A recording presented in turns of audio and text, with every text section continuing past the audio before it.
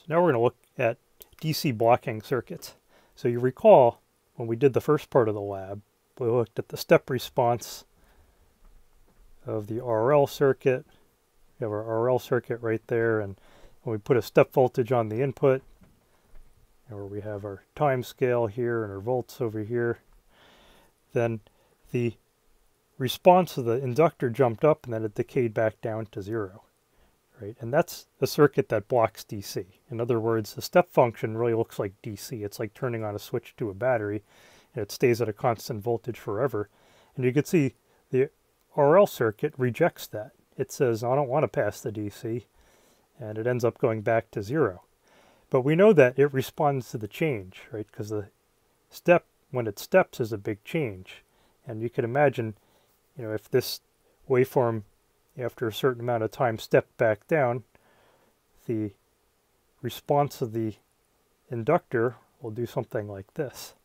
You could draw that in two colors. I'm going to redraw the inductor in red. So inductor voltage is in red right here, and then the step voltage is in, is in black.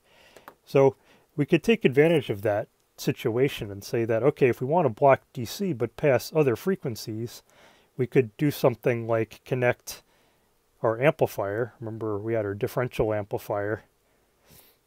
Just going to draw it as an amplifier for now from uh, part two, level two of lab five, right, where we were working with our hairdryer circuit.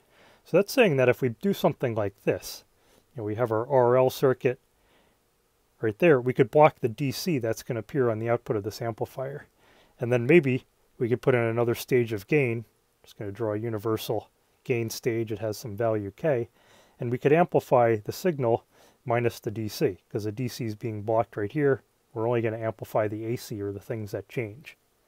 So it turns out, and we saw in the lab, that inductors are really kind of hard to work with. So in order to make a time constant that's as slow as we need for the circuit, we need to have a gigantic inductor. It's going to have a lot of losses. It's going to probably weigh 10 pounds. So instead of using the RL circuit, we could use a variant of the RC circuit. So you remember from the lab that the RC circuit, just switch in a capacitor right here, blocked the AC and it passed the DC. It's almost the complete opposite of what the what the RL circuit did. And I could use my red marker once again and say that in response to a step function, the output of the voltage across the capacitor asymptoted to a final value, and then when we step back down, it did the same thing. So this circuit right here likes to pass DC and block AC. You can almost think of an RC circuit as an averaging device where it's averaging the input across the capacitor because the capacitor is storing energy.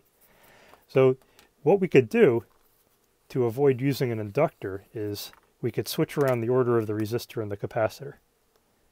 Put our capacitor now in series and the resistor in parallel. And then if we measure the voltage across the resistor, it's going to look like the RL circuit response. So in other words, it's going to, when we have the change, when our step goes positive, the resistor voltage is going to jump up, then it's going to exponentially decay back down to zero. It would do the same thing here for this negative transition of the step. So now taking that knowledge, you go over here and change up our circuit a bit. We could stick a capacitor in here, and then a resistor going to ground, and that could go to our next stage of gain. And that's what we're going to do with this circuit. So the big question, though, is going to be what should our RC time constant be? Right, that's kind of a, a question, and that really depends on what our drift looks like. So we could look back to the oscilloscope over here. I have the scope on a really slow time scale. It's on 50 seconds per division. So the whole entire time I've talking, I was talking, this was drifting slowly, slowly down. And it drifted, let's see, one, two, three, four, five, six, seven. So over 350 seconds, it drifted about 0.3 volts. We're on 1 volt per division over here. So that's a super slow time constant. And we could say if we made a uh, you know, a graph of something like that, you know, if we say that our initial condition was at 0.3 volts and we exponentially decayed back down to zero, right, over 350 seconds, you know, what would the time constant of that be? So that's something we could figure out. We could approximate it. We're not going to get the actual thing, but we could figure out like a rough order of magnitude. And we could do that by saying that 0.3 volts is our initial condition.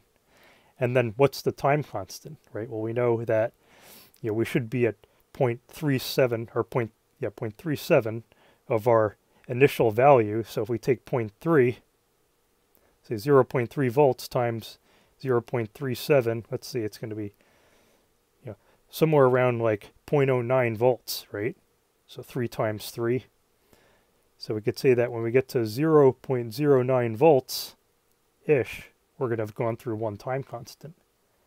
So what I could do is I could push save on the scope and we can analyze that data. So I'm going to save it as a PNG file and then I'm also going to save it as a CSV file. The CSV file will allow us to look at that and analyze it numerically.